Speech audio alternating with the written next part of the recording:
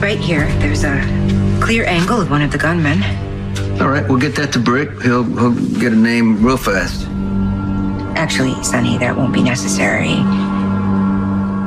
Spinelli and I were able to identify him. You identified him. Who is it? You saw a ghost? Where where did you see it? Uh, he was. He was right there. He was. He was there. He was sentient. He was breathing.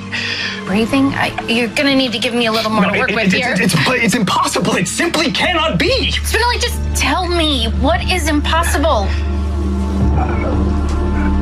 If you know who it is, spit it out.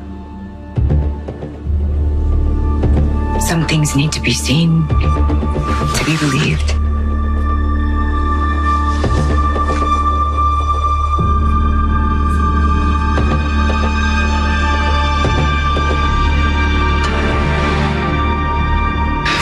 It's it's impossible. Both that he's alive and, and, and working against Sonny.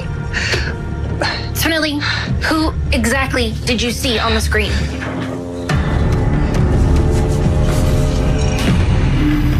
It's him, isn't it? It's Jason.